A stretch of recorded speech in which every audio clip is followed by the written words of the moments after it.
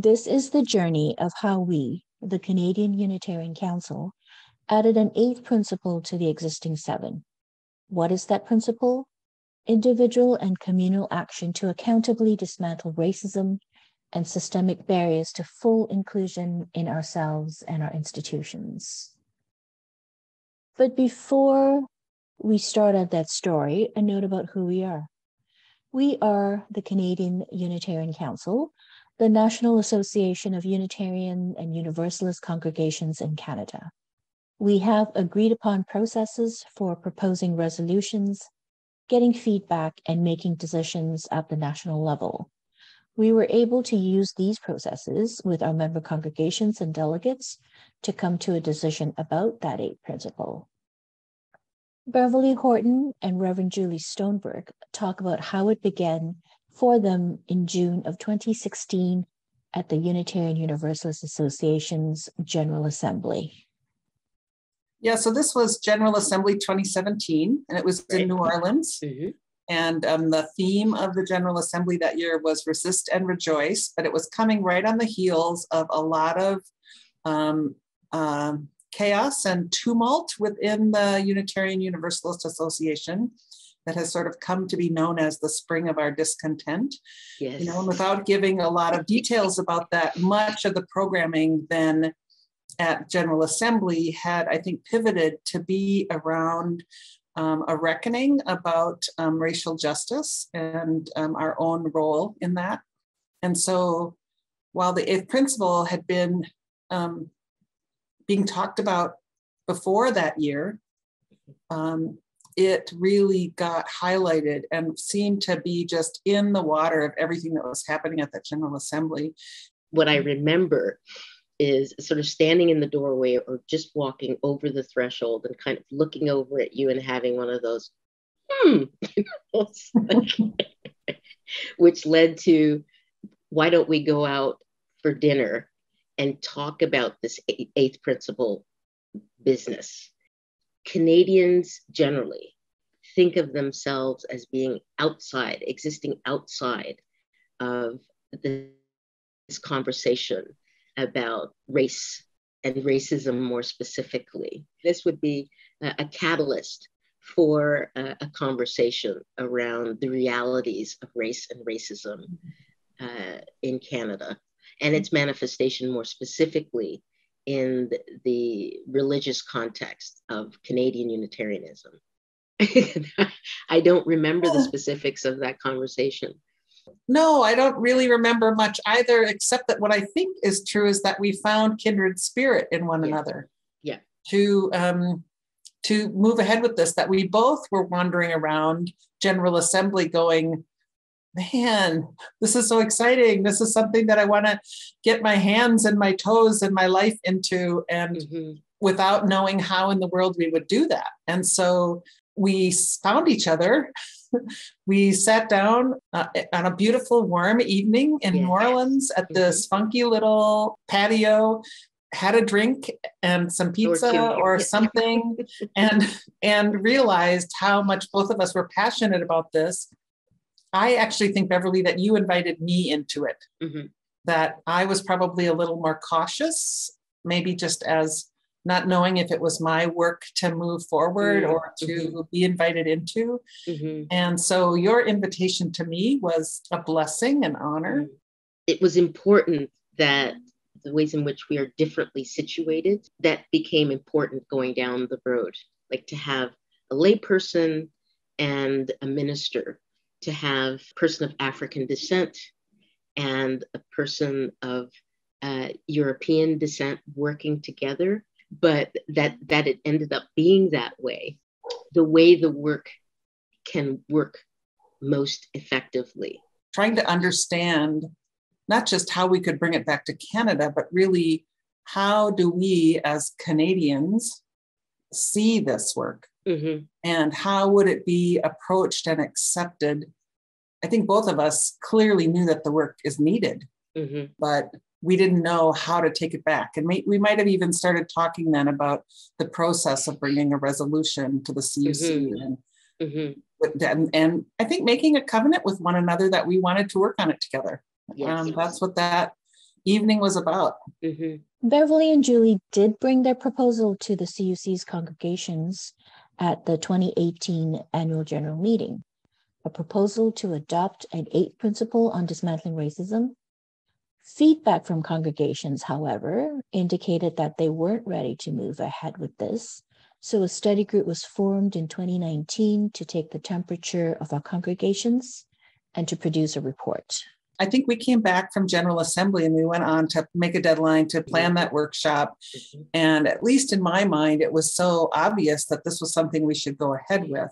That that workshop was the beginning of understanding that people weren't at that place yet. And going back to that notion of racism not existing in Canada, this notion that we were pulling troubles from the South, bringing them north, that was palpable in the initial responses to that resolution. So it became very clear that we needed to to shift. And I remember that conversation, you know, our process of looking at the responses of being one of real sadness, Mhm. disappointment, frustration, and like recognizing that if we put this on the floor um, at that annual meeting, it wouldn't pass, given the kind of feedback that there was. Mhm. And then our conversation went to, well, is there an in between step? How can we help prepare people? And that's when we changed it to a resolution to to create a study a study group Yeah. to move toward, you know, to find out really where we were at in terms of eighth principle type work in Mhm. Canada. So it was that resolution that was passed in 2018, and then Right. the study group Unanim- formed unanimously. unanimously. That's Mhm. correct. To form a Mhm. study group, Mhm. right? Mhm. In Yeah. retrospect, that it, it seems kind of comical to me because you know empiricism is so embedded in and this this um, cerebral way of being. So that that became a sort of obvious way forward. But Mhm. I wanted to believe that everyone would see how important this was and would be able to skip over that step, right? We wouldn't have to study and provide data and provide a report to prove that this is important to the to the forward movement of our denomination. Well, it felt like colluding, right, with white supremacy culture to say, Yes. okay, then let's just do a study group. Mhm, mhm. You know, let's do some research. Yes. Given who I am, it's easy for me to collude with white supremacy culture. but um because that's Not- how I was raised, different I, you know, it's who I am. So, Mhm. but it was just so disappointing to say, oh man, uh, why do we have to why do we have to take this sidestep? we heard repeatedly that IBPOC people in our communities did not want to do another survey. And, and we did a survey, and they just did not want to see another survey. And they have told us over and over again what they need and what they want. And we did another survey to find out basically the exact same thing that there is racism in our congregations. Surprise, big shocker uh, the report that we put out was not statistically rigorous in any way because we are a bunch of people who don't understand math that well trying to interpret all these numbers we got. And we took a lot of heat for that. And it took the conversation away from, but people have been telling us what they want and what they need to feel accepted, uh, which is the underlying point. When we entered the virtual space of that annual general meeting in May of 2021, I did not, could not have anticipated what would unfold over the next six months. I mean, after all, the agenda was standard. There were no out of the ordinary motions. We could, we would discuss and pass the budget, receive some reports, announce awards and grants, just like any other annual general meeting. One of the reports presented was from the Dismantling Racism Study Group. And one of the recommendations from that study group was to adopt an eighth principle on individual and communal action to accountably dismantle racism and other oppressions in ourselves and our institutions. The intent at that AGM was only to acknowledge the report and to thank the study group we hadn't had time to consider all the recommendations. However, a delegate from the floor spontaneously proposed adopting the eighth principle right then. I don't think we had any vision for when the eighth principle might be adopted. Right. You know, it was just one of the recommendations, and we're moving on this path. So we got into that rhythm of the research and the careful consideration, mm-hmm. you know, and thank goodness for the holy disruptor yes. who made yes. it happen differently. Yeah, absolutely.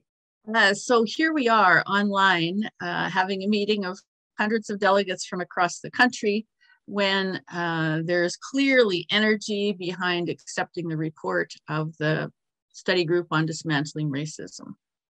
Um, a de delegate uh, asked a question that I was unprepared for, and that was, you know, could we move this motion right now to make an eighth principle? And I said, well, I don't think so, but let's check with the parliamentarian who said, well, you know, you'd have to suspend the rules. Uh, suspend the rules.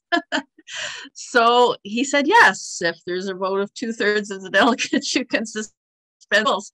So I felt us going off into dangerous waters at that point. And uh, a mistake in retrospect that I made was to not uh, call a little caucus among those experienced parliamentarians to figure out what to do. If I had done that, we would have realized that th- this action was actually out of bounds but uh, I didn't realize it at the time, and so on we went. And I remember the um, the texts in the midst of of the meeting.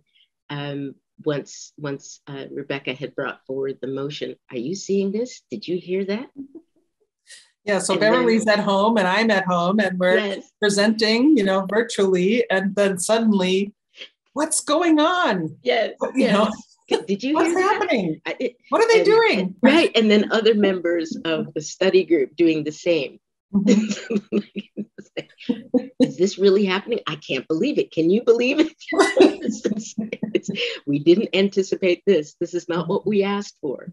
I'm so proud to be part of a faith culture, a spiritual culture that lifts up and looks forward and outward to the point that we are even willing to talk about a new principle and to do that in a way that's inclusive and considerate and very real. I've been a, a pretty well lifelong Unitarian since I was 14. And I also work in the area of change management. And I had been monitoring the process of the eighth principle lightly. Um, but certainly, as I prepared for the AGM, I read the report and I and I reflected deeply. And I was listening carefully to the interveners from the different congregations during the AGM. And there was one person who said really clearly, look, as Unitarians, you know, we we we think, we study, we research, we've studied this to death. It's time for action. And she was so frustrated. I don't even know if she's left the AGM or not. And at that point, I made a calculated decision based on all of the evidence that we have already, tacit and in the report, I felt that the that the CUC was ready to actually decide: do we put this for another year of reflection, or do we actually put some action to this and take a decision? Are we going to stand for an eighth principle or not? So I put the question out. I called the question, and there was a quick discussion, uh, Robert's Rules of Orders. You know, we know what happened. That yes, we took a vote, and that it wasn't allowable. However, it set the train in motion for this extremely important moment. I was very excited and a bit nervous, but mostly confident that our Unitarian community can handle this.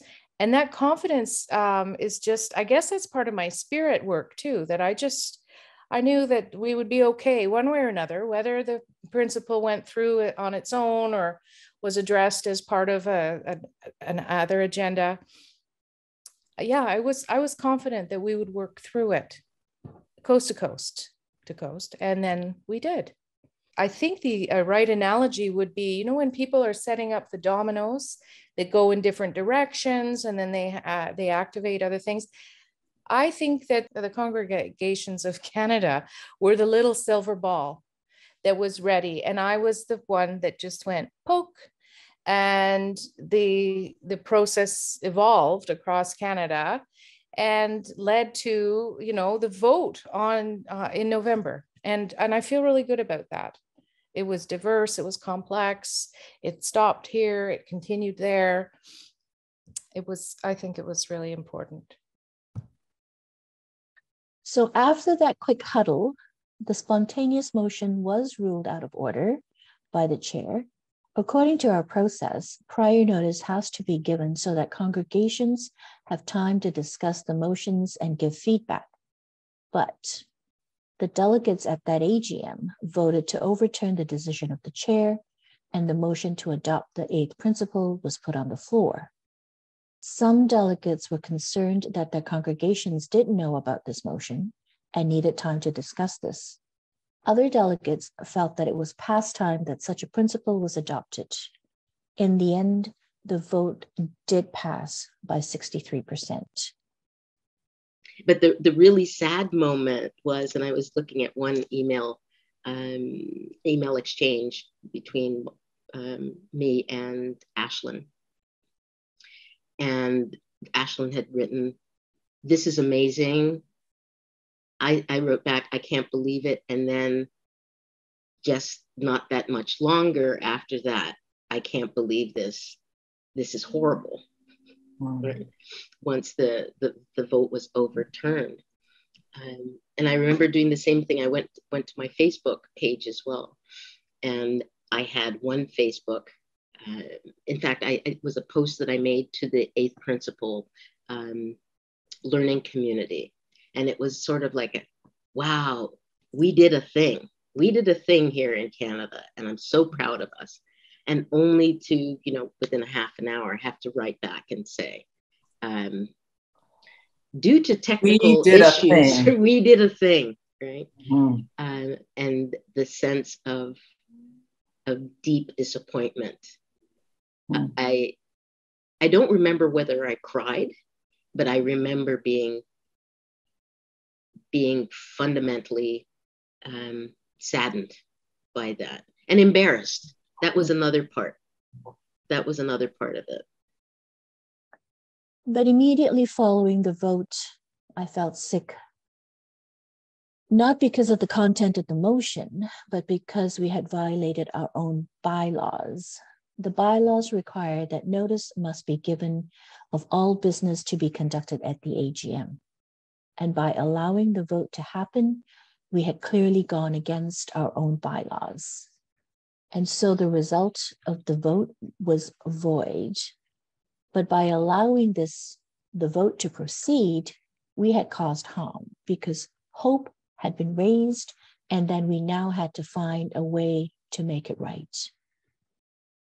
But then bless our parliamentarian, our board, our our executive director, um, for saying, yeah, but that doesn't mean that has to be the end of the story. Yes. Let's pick up and move on and mm-hmm. go on, F- find a way to pull this in within our bylaws, within the rules mm-hmm. of our bylaws, mm-hmm. to acknowledge what happened in that meeting and the kind of response there was. The, the, the degree of accountability there was quite um, inspiring.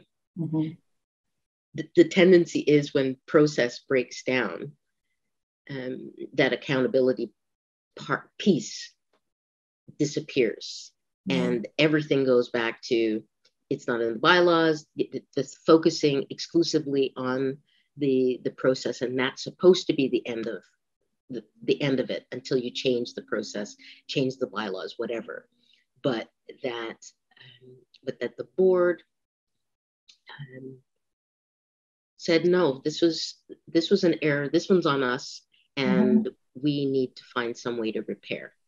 Yeah. That was quite extraordinary. That was quite extraordinary. And the board took it up as its as its project. Right.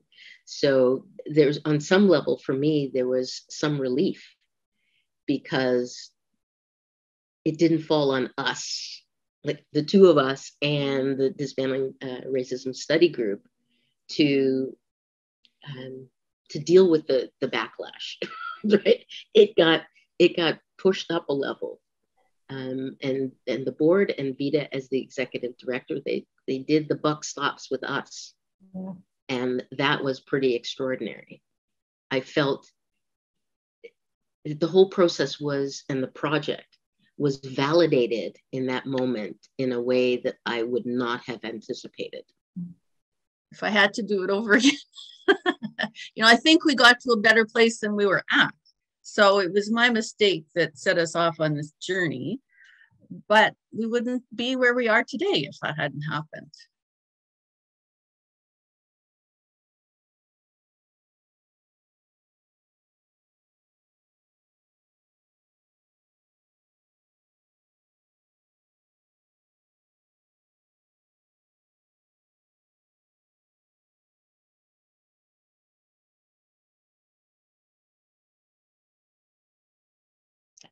So, in the days that followed the AGM, communications were sent out to congregations explaining what had happened, with an apology to the people harmed, especially to our Indigenous, Black, and people of color members and friends.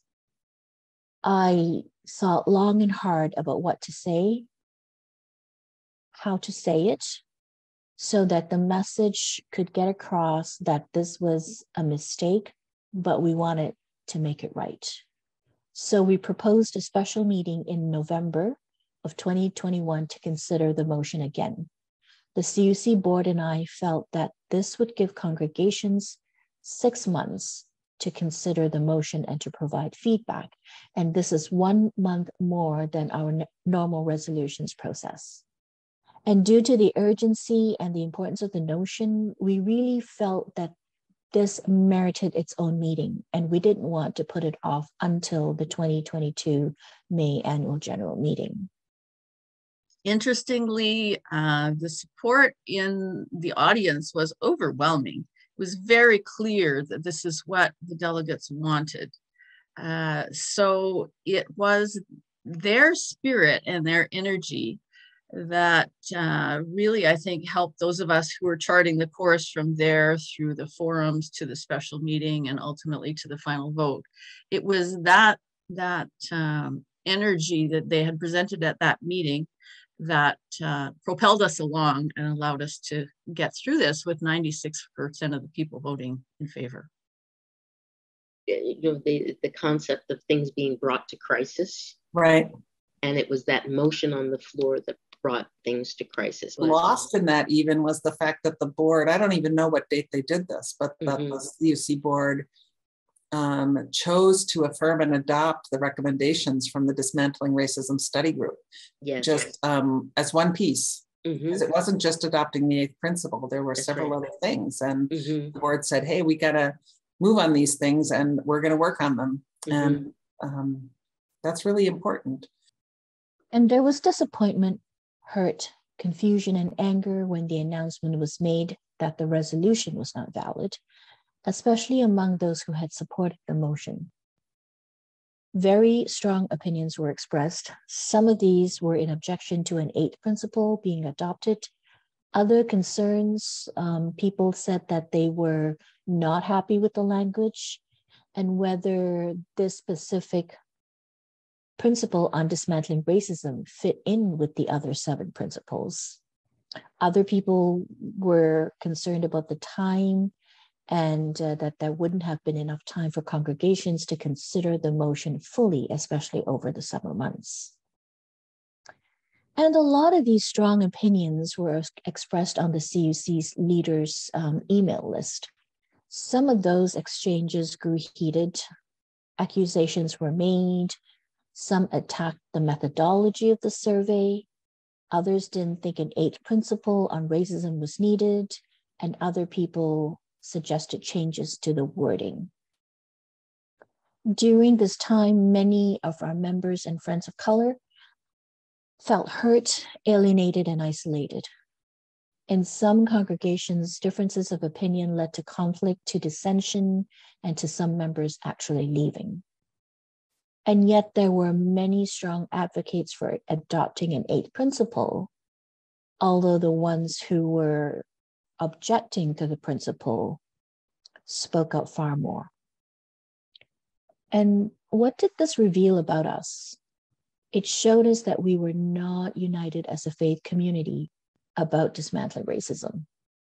I was uncertain in the beginning whether we would be uh, able to do it, but at the end, I saw um, that members were hungry for that, especially the younger members, the BIPOC members, that they wanted um, an eighth principle. They wanted uh, a way to have a more inclusive, um, diverse community that represented the communities that they they uh, live in.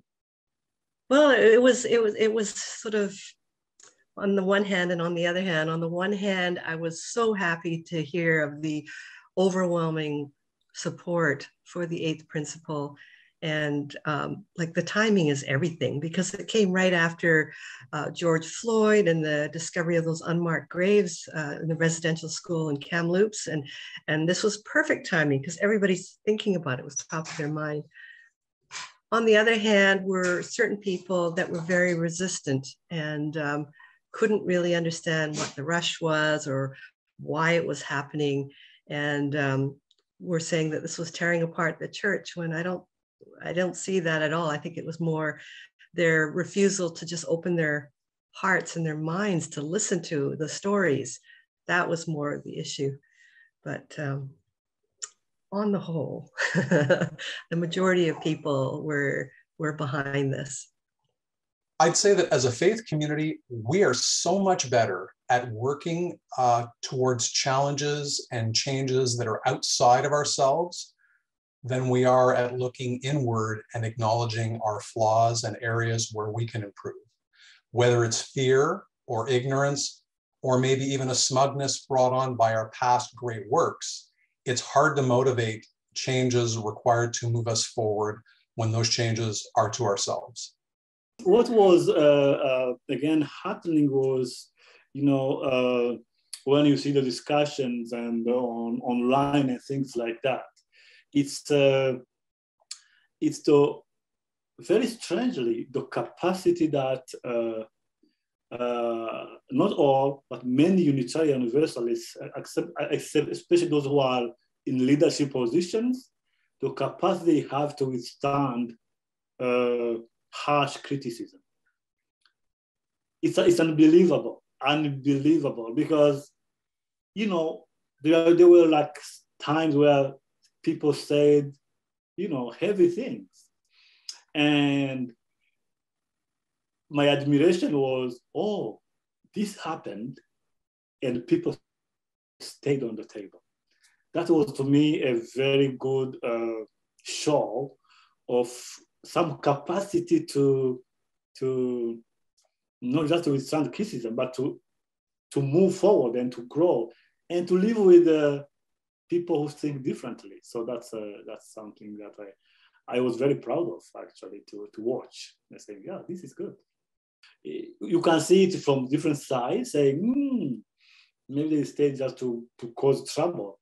But at the same time, they stayed because they love the movement, because they, they want they, they feel this is their home and they want to be part of its growth and part of its challenges and part of uh, part of troubles. Yeah it's uh, that's good because I come from a, a society which increasingly does not tolerate uh, the opposing view, and uh, uh, that's from the from the especially from the top. You know, the government, the military, the police. You this you say something they don't like, they kill you or they put you to jail or things like that. So it's like there is uh, some admiration for me of groups of people or communities that uh, showcase that capacity of saying, uh, I'm by saying horrible things I don't like, but I'm happy to engage with her. I'm happy to to stay in the conversation, and uh, in a way, I, that was that was also one one thing I learned, and I I was very happy. So in order to move the conversation along, staff designed intentional spaces. We wanted to address the strong opinions and we wanted to help keep people safe. So we hosted five roundtable conversations for people to question, discuss, and express their opinions. And some of those who attended the roundtables continued to express their objection to the addition of an eighth principle, while others were in support. And we discovered that we needed to provide a caucus space for people of color so that they weren't further harmed by these conversations as UUs who are white continue to process their feelings and their opinions on this. Two of the CUC staff, Erin Horvath and Amber Bellmare, the social justice team created a series of forums that invited UUs into conversation. They also created a responsibility covenant to help keep those conversations safe. UUs were challenged during these forums to listen deeply to ask questions with curiosity, to refrain from judging. In short, we were asked to examine our own attitudes about racism and lean into discomfort. This was really hard for many of us. So, we were approached by the Dismantling Racism Study Group to ask us if we would be willing to facilitate the forums. So there was four of them, and we were asked, you know, could we take the national community on a, a journey through this? Um, not talking so much about the content as much as it is the heart work that would be required for people to um, really listen to one another to understand why some people are saying that there's an additional eighth principle needed um, yeah, so there, I mean, there was some interesting kind of conversations with people at the beginning where they'd say, but we already have these really great seven principles and we really like them. And if everybody did those, we should be fine and we, we wouldn't need an eighth principle. And it took us some time to sort of look at it together and go, okay, well, if we were really truly inclusive, um, we would know that because our congregations would be diverse and rich and it would be apparent. Um, so that's one thing. And then the other thing is, is that those are a part who are a part of the movement would say, I really feel included here. I feel like all of me can come to this community and be received and welcomed, that there's nothing I need to hide of myself, um, that I can bring all of me. And since neither of those were true, then we kind of went and worked backwards and said, okay, so since those aren't true, then there's something that we need to be doing differently than what we're doing. And can we listen to each other to find out what that might be? And so that's kind of the the heart space that we entered into those conversations with, as opposed to a head space that was just intellectualizing um, something based on you know dogma that's written on a piece of paper. Right, and we used covenant to create a container of respect and self uh, mm. um, control, I guess. I'm not sure what the word is. Um, to be able to make sure that there was safety for the marginalized people in the rooms uh, and to make sure that we were speaking to one another through our own like self-reflective ways using a mirror instead of a lens is one of the ways that we talked about it yeah, that responsibility covenant was it was pretty key, right? Because that was saying that we want to show up in a way that gives space for other people to share what their lived reality is without them having to be cross-examined, criticized, intellectualized. We have a whole list, right? Um, that's you know basically saying to those with relative privilege in any given situation. So that can you know switch around, but in this case we were talking about race and racism. So those of us with um, white skin people to be really thoughtful about what is coming up in us, our discomfort, and not projecting that into the space in such a way that people would feel like, well, I can't really say what's true to me, my lived experience, because it might cause someone to get all hot and bothered about how they're feeling about that truth. So we really wanted to keep that um, in check mm. for safety reasons. And, and we were told that that was a really important factor uh, in people feeling safe enough to participate in the forum. that. And then we also created the caucus group so that people did not have to be subjected to our processing, um, which did happen, you know, as we, you know, try to get a hang of using these sort of things, these sort of tools. Mm-hmm. Um, it still certainly happened, but then they're not exposed to the, the weaponizing of, of some of our words that way. Change is always hard, and it's difficult to look within and acknowledge flaws and imperfections. For many members, Unitarian Universalism offers a refuge from a chaotic and sometimes hostile world. To actively seek out our flaws can feel destabilizing and thereby triggering a fear response. As we all do this work, which is really to expand that refuge to all people, those who are BIPOC, 2S, LGBTQ2+, to those who are physically and mentally uh, health challenged, to those who are socially and economically disadvantaged, and to those with non-traditional family structures. We need to respect this need for stability and continuity in our current membership while also acknowledging the very real need to make changes that bring us into better alignment with our principles and allow us to live our values in the world.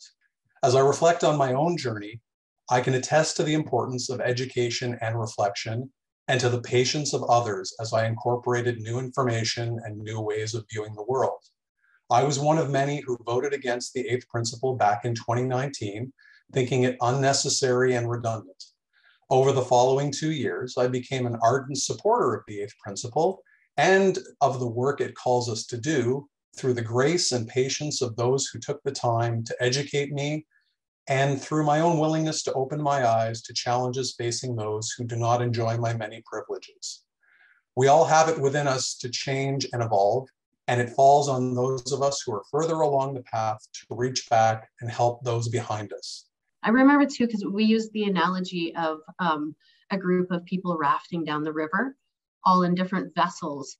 And, um, you know, some saying, I'm going to get out and go on the shoreline for a while. Um, some people you know, paddling like crazy going through the, the intense waters and some staying in the calmer waters, whatever it was, right? And we talked a lot about the honoring of each other's journey and choice because some folks felt very mm, unsure, put off, uh, anxious, some other.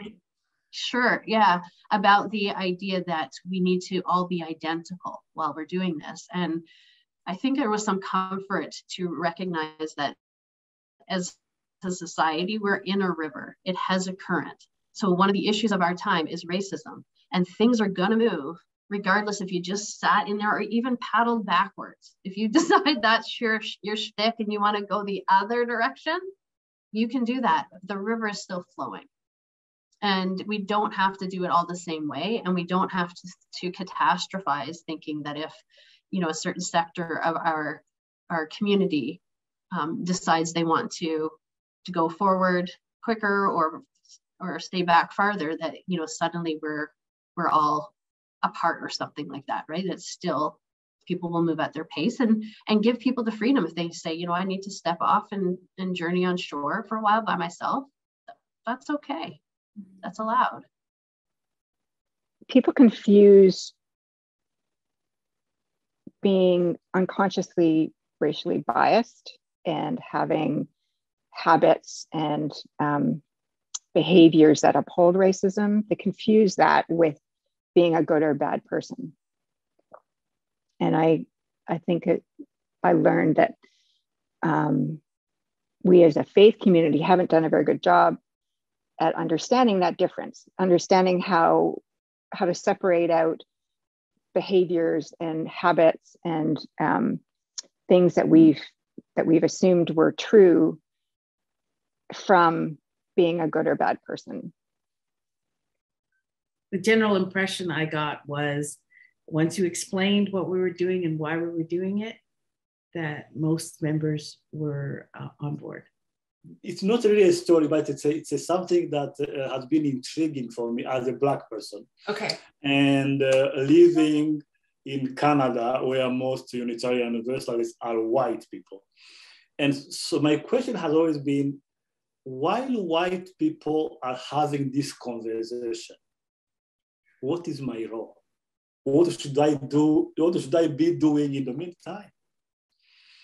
I haven't received an answer really, because these questions are difficult. They take a lot of time and they discuss about things that we, at least me, I have been going through, you know, uh, prejudices, prejudices, racism, things that are, those are almost daily occurrences to me. And so when people are discussing that, and some even not even seeing it as a problem, what would I be doing?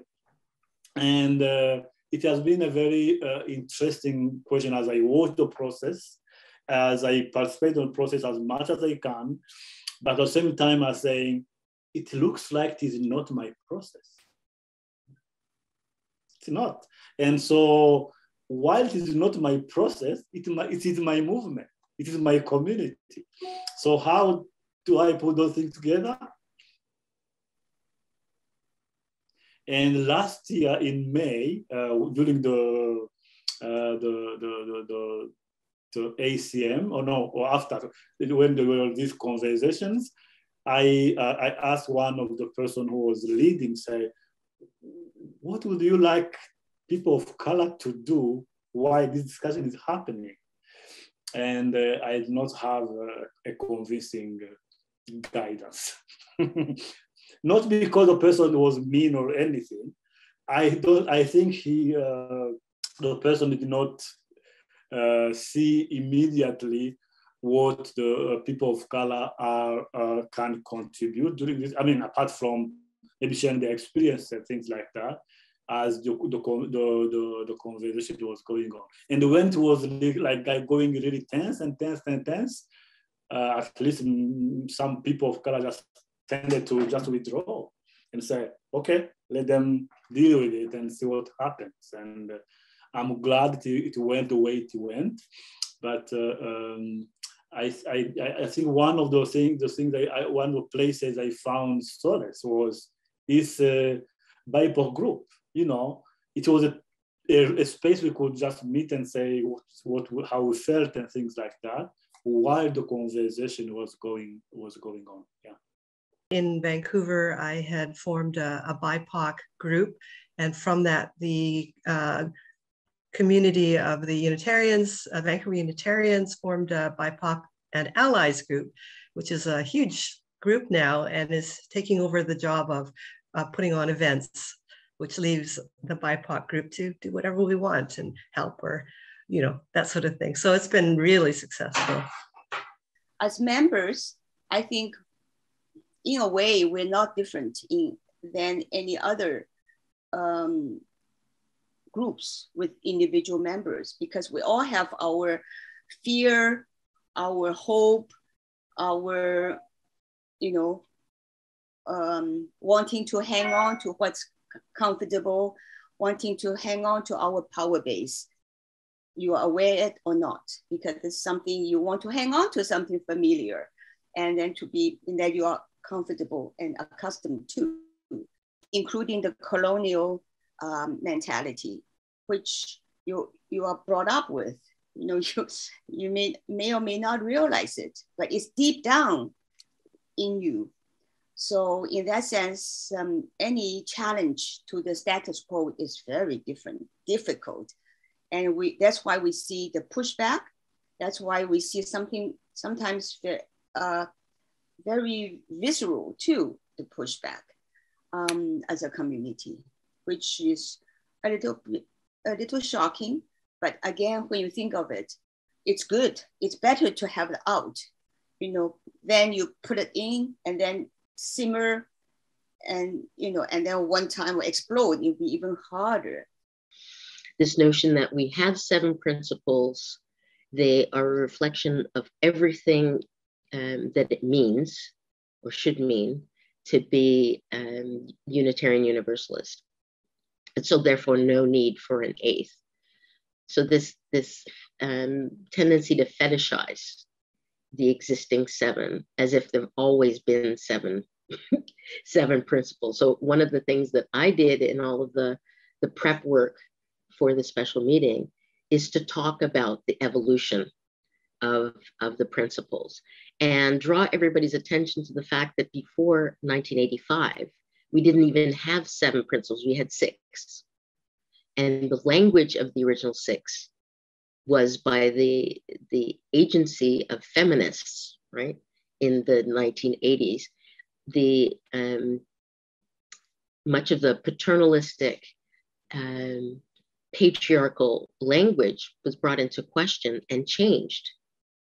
Right? So this notion of it being um, a faith that's that's constantly looking at itself, going through a part a um, process of revision, right, reflection, somehow got lost and it needed to be brought forward again during the process. Um,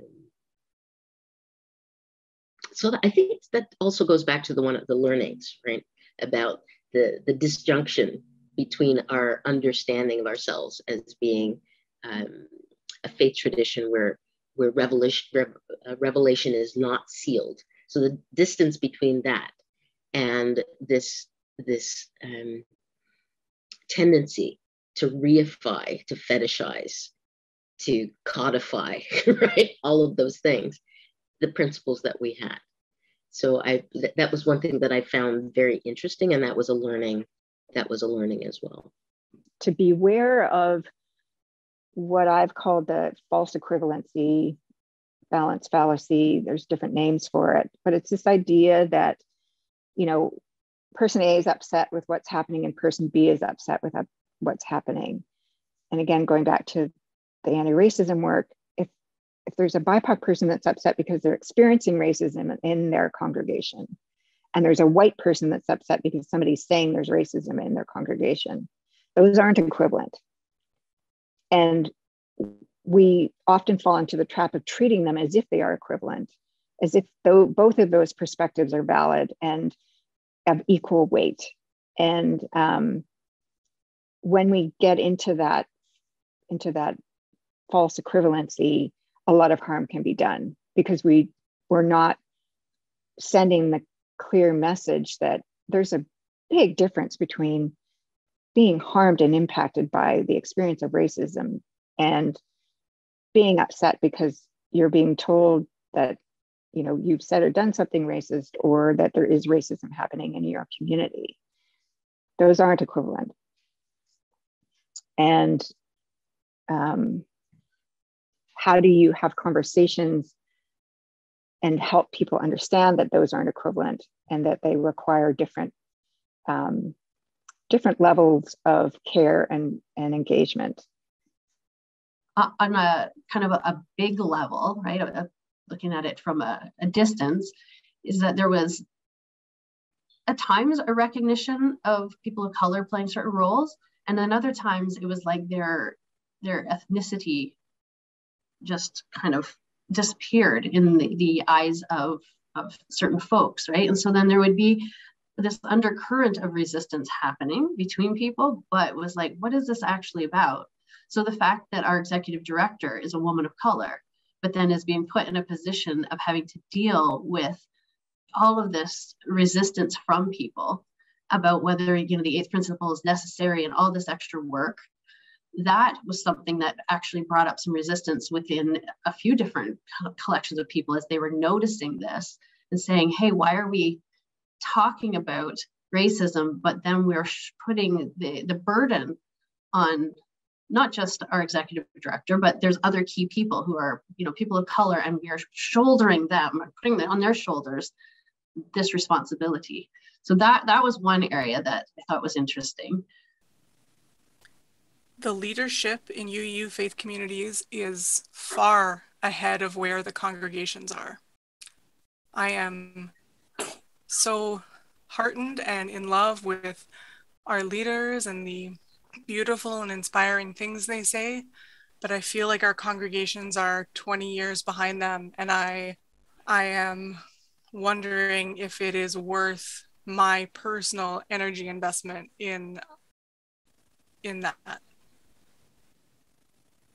I wanted to share my story as a religious educator during this time.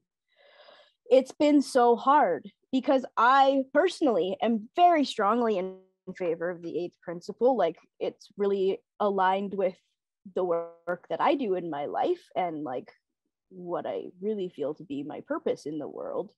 And yet, because of the level of conflict within our local community, I had a really hard time knowing where to go with it with the children's programming because it's like I, I want to be in support of the principle and I personally can take that stance. But then when we're talking about it from a collective perspective, like you also want to represent your congregation. So like I just I have puppet friends on Facebook and I was using them as teaching tools, but it was so hard. Like there were many weeks that I didn't do a puppet show because I had no idea what to say. Like it was just impossible to know the approach to take, um, even though I know my own approach.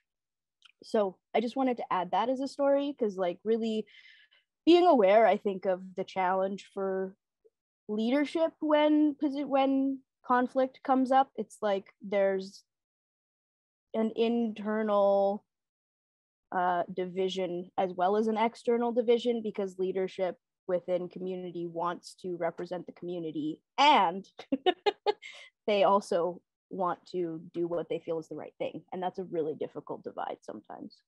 Um, yeah. Hi my name is nat niall mallet i am 10 years old now. It started with uh, me getting asked if I wanted to do this Minecraft camp, and I thought it was pretty cool. So I decided to do it. And basically, every day they ask you about one topic at every camp. Uh, so, and then one day it was about this new principle. uh,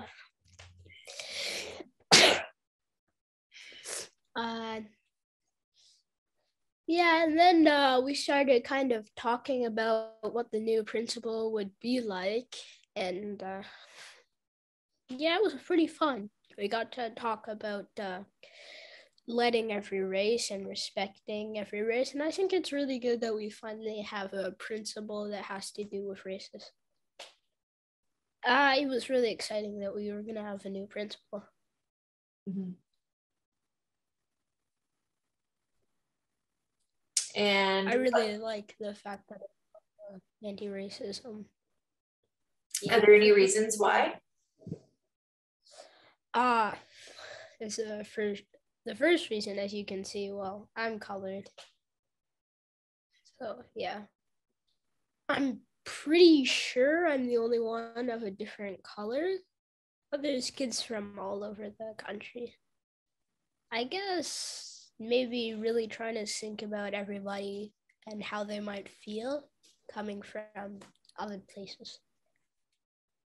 I think it's a wonderful thing that we have this new uh, principle. Yeah. Yeah, I, know. I really, I think it's very, very cool that my mom decided to uh, do this new uh, principle, especially anti-racism. It makes me feel really good and accepted.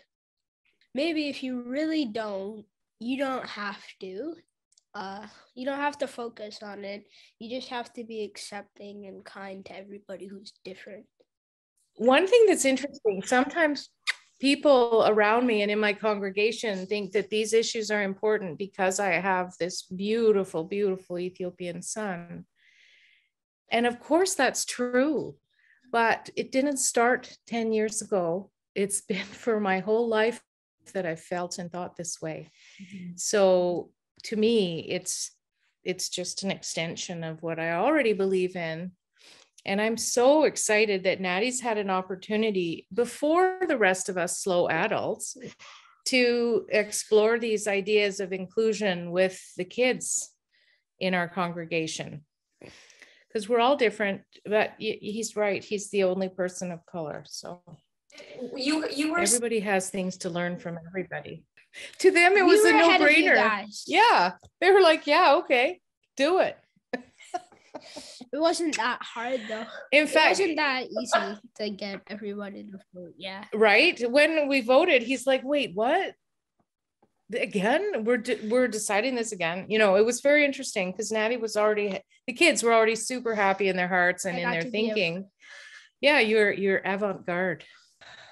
Um uh to be super honest i was pretty upset about the whole thing. Um i think i come from a bit of a of a special perspective in that i am originally from the states and so i saw this whole process happen um, a few years ago in the states, and then I moved to Canada, and um, in a few ways, the like beautiful shell that is supposed to be Canada was broken as I realized that there are these problems that still exist here as well. And when you're from the States, you're always like, oh, Canada's like the golden promised land or whatever. And then you get here and you're like, actually, it's really not. And it was really hard to see that process happen all over again in Canada. And of course, the CUC voted to adopt while the UUA did not. And so there was that huge difference. But to go through that again was was really challenging and I really questioned whether or not I wanted to be part of this faith anymore as it was happening. And knowing how confused and honestly kind of ready to leave this faith that I grew up in, that I was towards the end of it, is still something that I am reckoning with. Like, I had a lot of conversations with people about how if the eighth principle wasn't adopted, I would be leaving uh, my position and my my spot in this faith.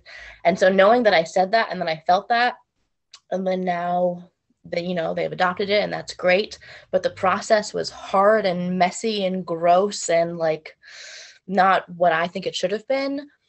It's just hard to to balance. Um i'm st- obviously still part of this faith. I haven't left. I'm still in my positions and i still love most of what i do but it was definitely like a big um, it was a big challenge. It was a big struggle uh, in my faith development and my commitment to to this work and to this institution.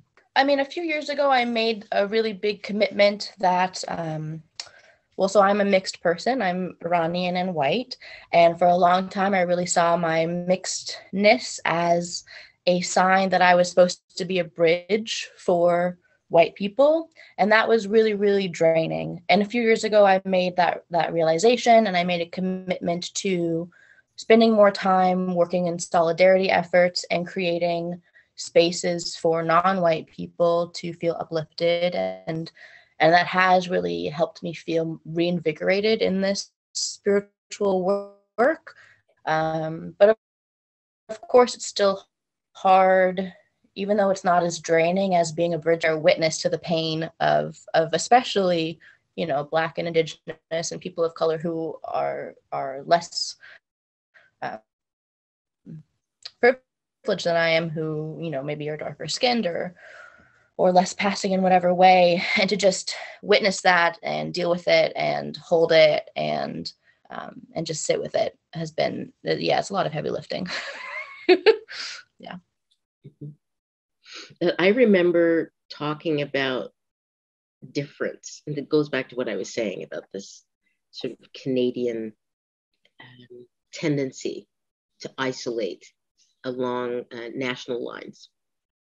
And one of the things that we talked about was um, the, the primacy of um, colonialism in the Canadian experience of, of racism. So, what do we do um, or that was the way way in which this conversation would um, happen differently and how this issue of race would resonate differently in the Canadian context. And what's what's been interesting for me is going forward is um, that we've lost we've lost that element. Mm-hmm. And the focus has been on what's happened in terms of talking about um, Indigenous culture and racism as it affects Indigenous people is that we've had this conversation about the distinction between racism and, and colonialism. And that was something that I didn't anticipate when we'd had that discussion about um, how the eighth principle would help us talk about um, all the different forms of racism that exist in the Canadian context anti Black racism and anti Indigenous racism as um, as a category. Because in some ways, it's almost as if there's a continuum. Oh, no, it's probably not a polarity really of two different ways of seeing it. But I think we encountered in the conversations both those who were saying, we're already doing this work. Look at what we're doing with truth, recon- truth and reconciliation. Mm-hmm. And those who said, say, why are we talking about the eighth principle? We should be talking about Indigenous peoples. Mm-hmm. And then as we got more focused on the eighth principle, as you say, I think um, reconciliation and racism that's embedded in colonialism has taken a little bit of a back seat or has been made a little bit invisible by this mm-hmm. eighth principle process, which, mm-hmm. um, as you say, was never the intention or really the, um, nor is it true or right that um, because the eighth principle is as much about truth and reconciliation with indigenous peoples as it is with um, with all peoples. Mm-hmm. It's part of the CUC's regular process to ask congregations for feedback on motions proposed for annual meetings. And it was even more necessary in this case. So, congregations were invited to share their opinions before that November 27th special meeting. And we got a range of responses, UUs being who they are. Most of these were in support of adopting an eight principle. However, there were there were opinions that were not in agreement. And something that we don't normally do is share the feedback from congregations publicly, normally. But we did do so here because of the complexity of the issues before us and because board and staff really wanted to make sure that the process was transparent and members were able to understand what other people were saying about the eighth principle and the process. So once the feedback was in, the CUC board and the Dismantling Racism Study Group met to consider the wording of the motion. So as originally proposed, it stated, and this is different from the version proposed by um, Jones to the UUA. Our original motion said, We, the member congregations of the Canadian Unitarian Council, covenant to affirm and promote individual and communal action that accountably dismantles racism and other oppressions in ourselves and our institutions. So the board and the study group considered all the feedback, and we returned to the focus and intent of the principle. We felt that it was important to include accountability, not to, not to sideline oppressions beyond racism, and to build actions for change in ourselves and our institutions. So we made a change in the statement. And the updated principle reads we, the member congregations of the Canadian Unitarian Council, covenant to affirm and promote individual and communal action that accountably dismantles racism and systemic barriers to full inclusion in ourselves and in our institutions. We let the congregations know about this change, and then we also subsequently sent out um, communication about what we thought accountably meant, and also what systemic barriers to full inclusion might mean.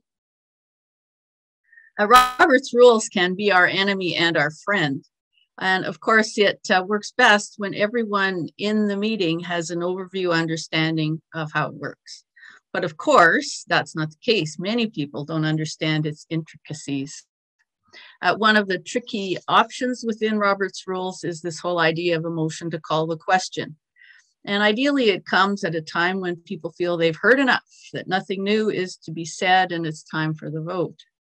But an implication of calling question, and, and maybe one that's not realized by everybody, is that silences the conversation. It's over.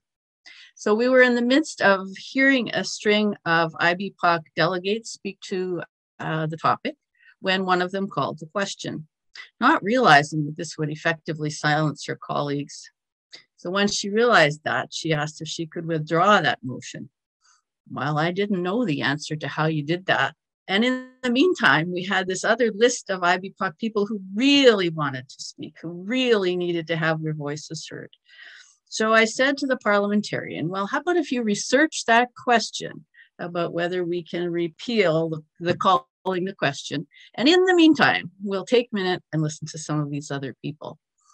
So it, uh, we were able to create an opening so that those people could feel heard. And I found myself on that knife edge of being respectful of the process and how the process needs to work. And at the same time, recognizing that there are real people here, people who are heavily impacted by this issue. And uh, so it was a moment for me uh, on the line as the leader.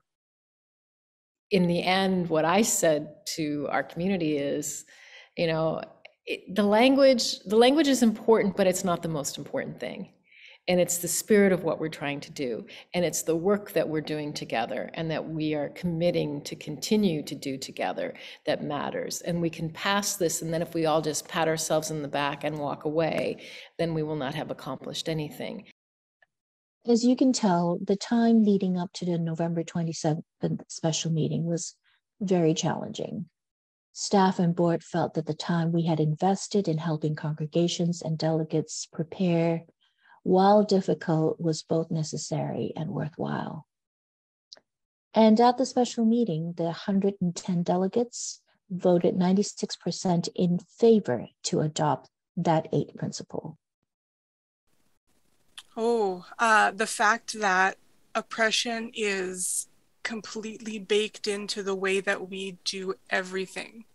And the number one thing that they should learn from what happened to us is that Robert's Rules of Order is a white supremacist garbage policy and you shouldn't use it.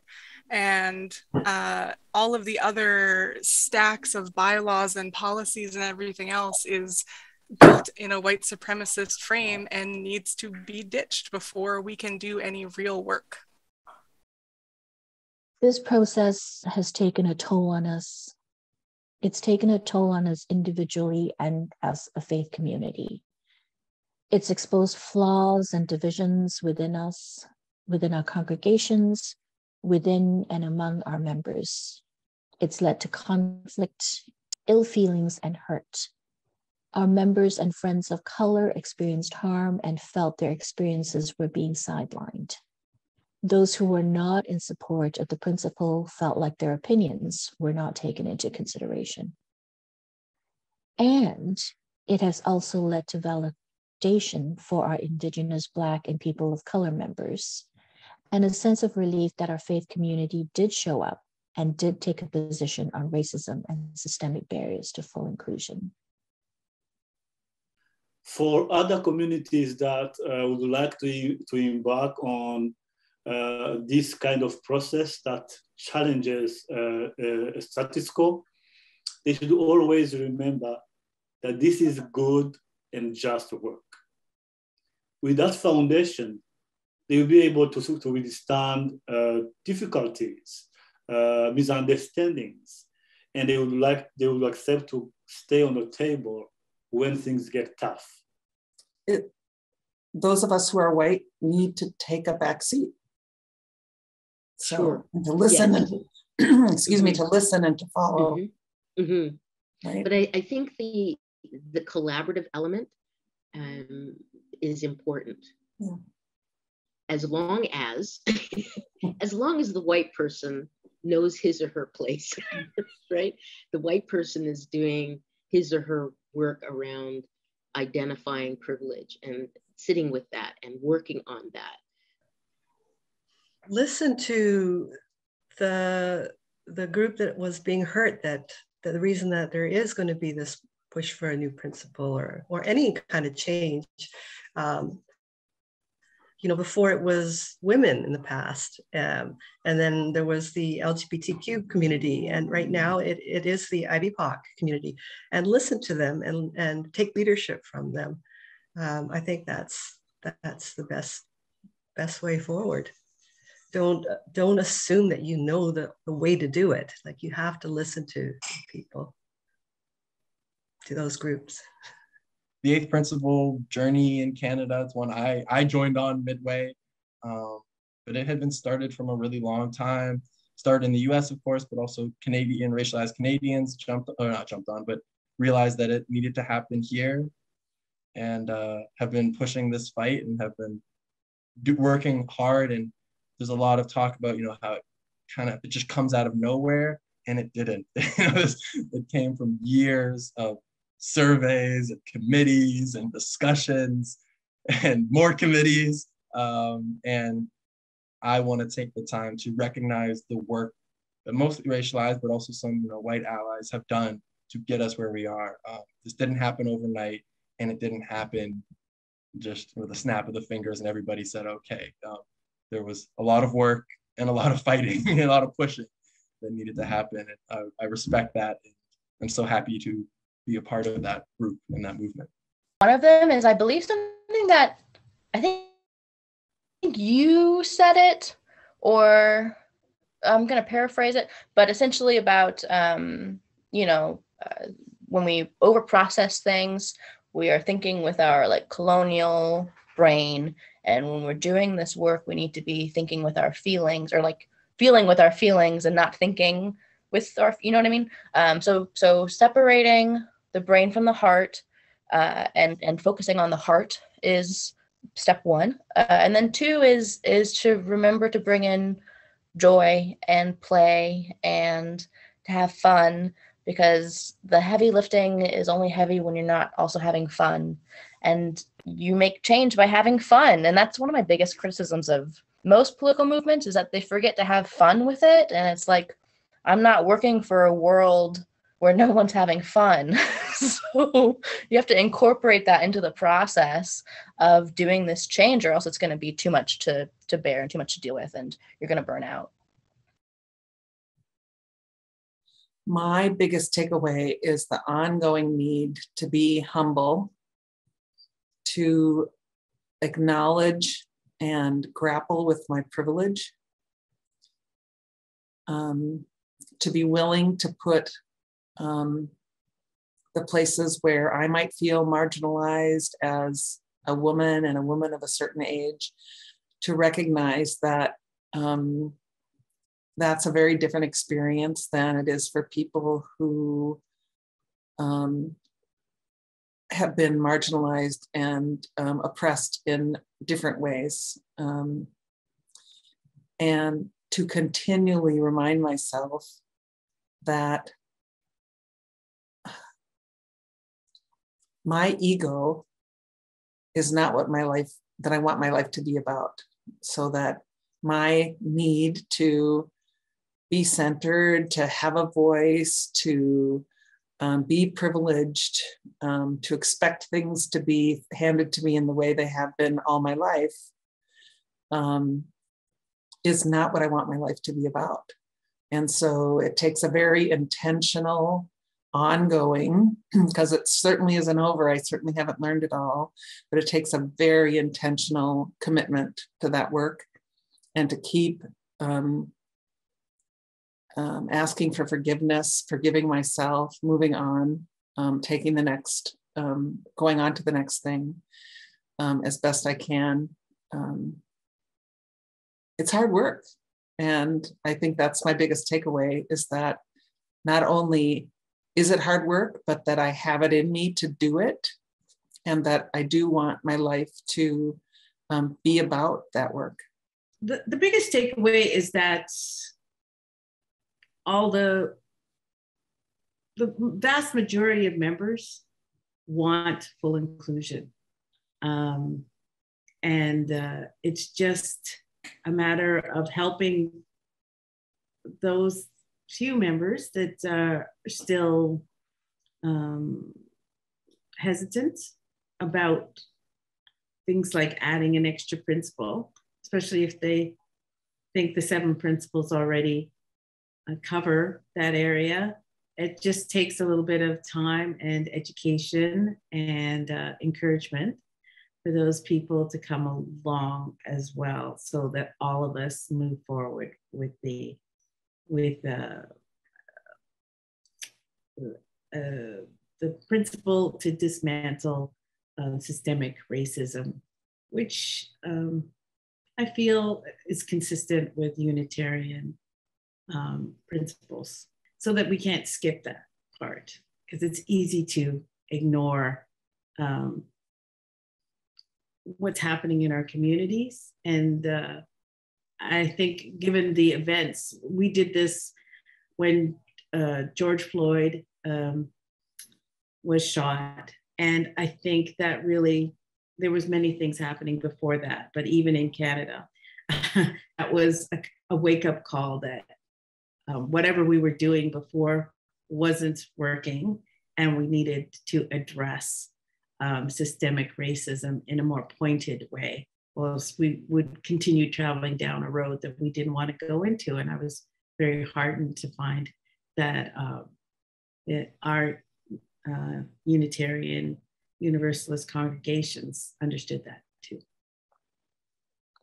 Um, and then the other big lesson, at least for me, was how little we as a faith have put into building the skills and the capacity to navigate conflict generatively, to restore relationships when they are harmed.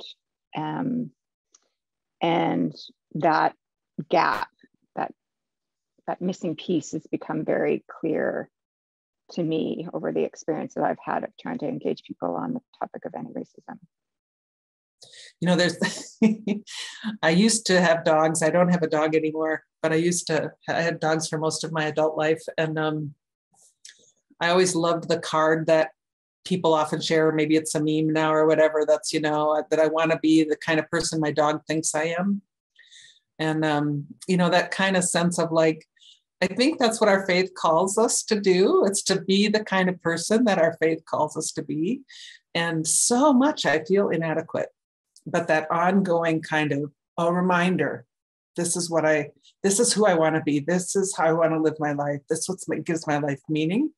Um, and there are many things, many causes in each of our principles and each of the things our faith is about that call us to be that person um, that our dog or in that dyslexic way our god wants us to be thinks we are um, and this one is one that just really calls my heart forward and so um, i'm really honored i feel really talk about privilege i feel really privileged to have found something that touches me in this way and um, shapes my life. And, and, and supporting communities with being dis- uncomfortable. It's going to be a thing because it's uncomfortable. It's uncomfortable for me. It's uncomfortable for all of us. And it has been uncomfortable. Right. So, like, let's get uncomfortable and let's create spaces where discomfort is not something to be afraid of but really a place where we can learn and be curious. So I would I would really say I would really lean into the transformative possibilities of discomfort. What's there? And how can we support communities and support each other with that discomfort? For you and I and the members of the Dismantling Racism Study Group that kind of helped to lead this forum.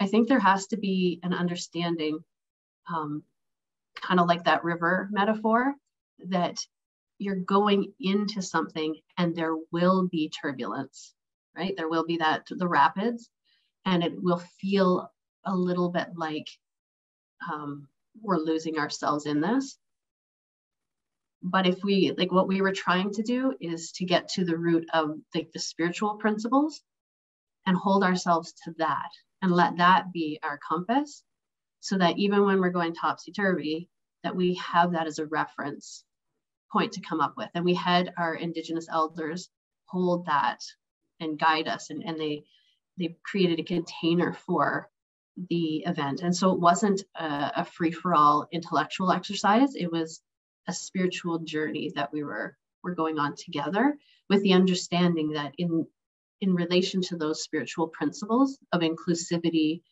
of you know respecting each other's journeys these sort of things that none of us are exempt So it's not about like one group of people trying to who believe themselves to be more evolved, trying to convince some other group of people to, to see it their way, right?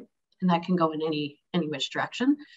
That I think was um, foundational for the success of our our forums is that um, you know we've we've managed to still continue to keep the conversation going um, without people feeling like they're completely um, alienated through this process. It was a journey, and we have managed to keep ourselves together like that that caravan of, of rafters.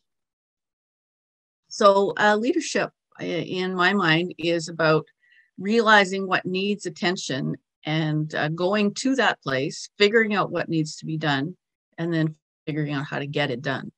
And I think our uh, eighth principle process was really all about that to keep our tradition a living one, to make it relevant for our time. And despite all the good words that we had, to come up with new words that are needed for this time. Uh, over the last few years, we've come to a realization that, uh, and it's settling in on us, many of us mainstreamers, that within our congregations and throughout our uh, country, racism is here. Uh, its presence has been hard to see and accept, but I think now the evidence is overwhelming. And so, with seeing that evidence as being a tradition that values evidence, it becomes incumbent on us to step up and create change. And so, in the idea of being a living tradition, we embarked on that project.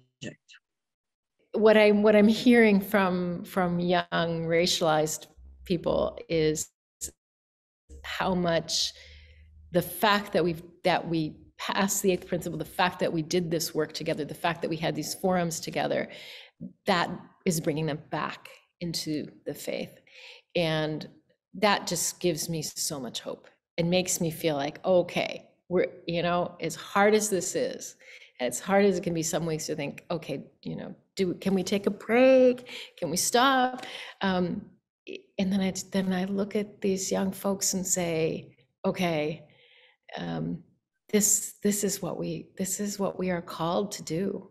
If we are going to be a, a living tradition that responds to the world around us and within ourselves then this is and and it's worth it because you know it, it's it just speaks volumes to the the the young racialized people who are in our congregations in particular the approval of the eighth principle announced to the world that the Canadian Unitarian Council and that Canadian Unitarian Universalists are willing to do the work of dismantling racism and systemic barriers to full inclusion. It will not be an easy or a smooth path, and it will continue to cause discomfort and turbulence. We share this process with the UUA although we realize that the process for changing your bylaws is very different from the CUC's process, but we hope that what we have gone through here in Canada will help inform your Article 2 study commission process and findings. And for us, the eighth principle will remain a priority for the CUC. As we go forward together as a faith community, we are finding ways to remain in covenant together, to hold ourselves and each other accountable, to aspire to be radically, radically inclusive, and to dismantle systemic barriers to full inclusion.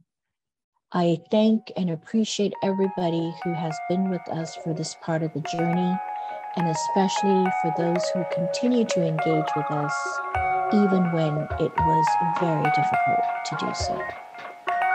Philosophy.